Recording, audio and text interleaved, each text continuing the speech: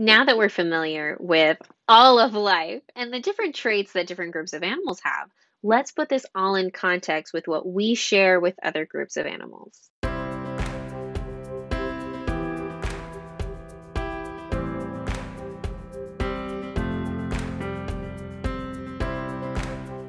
So now we're going to put humans in our context.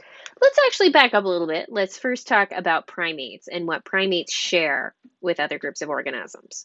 First, we're alive. We are living creatures. So this means we have DNA. Um, we use DNA to store our hereditary material, and we are based on uh, in cells. That's our basic unit of, of structure. We are in domain eukarya, so that means we have a specific type of cellular structure. So we have organelles that carry out different functions within our cells, and we also have our DNA encased in the nucleus. Within domain eukarya, we are in kingdom Animalia. So we are multicellular, we have multiple different cells, and we are heterotrophic. We consume other animals for food, or consume other things for food.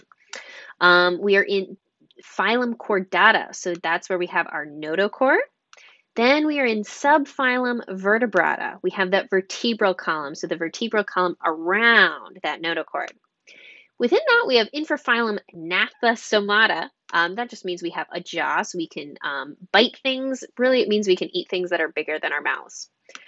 Then we are in superclass Tetrapoda. We have four limbs. Within that, we are in clade Amniota. We have an amniotic sac encasing, uh, encasing our eggs. Then within that, we are in class Mammalia. We, so we have mammary glands, fur, and homeothermy. And finally, we get to order primates. So here, that's where we have our large brains, binocular vision, and our opposable thumb. Um, you might notice I included a few things here that we didn't go over in our past lecture.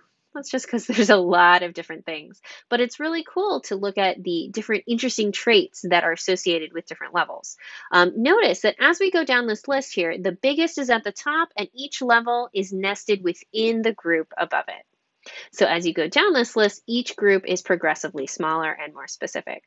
So at the bottom, primates have all of these traits, and mammals have all of these traits except for the um, ones that are primate specific. But let's remind ourselves about primates and all the different groups here. First, we have our strepsirrhines on one side and our haplorhines on the other. Within haplorhines, we have our tarsiers, and then we have our anthropoids over here. Within anthropoids, we have our platyrrhines, our New World monkeys, and then our catarrhines. And within catarrhines, we have our cercopithecoids, or Old World monkeys, and then our hominoids, or apes.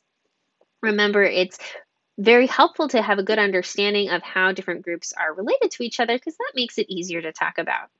Um, if you need to, go back and review what we learned in our primatology module um, for the different traits for these primate groups. But let's get a little bit more specific. Let's talk about humans specifically. So within primates, we are haplorhines. So that means we don't have our rhinarium. But we are also um, anthropoids or infraorder Simiiformes. So that means we are diurnal and we also have even larger brains. We're also very visually oriented. Then we're in parvorder Catarrhini. So now we have larger social groups. We are in superfamily Hominoidea. We have these really mobile shoulders um, because the ancestral hominoid like to hang beneath trees, but this is what allows baseball pitchers to do those big throws that they do today. Within that, we are in family Hominidae. So now our brains are even larger and we have a large body size.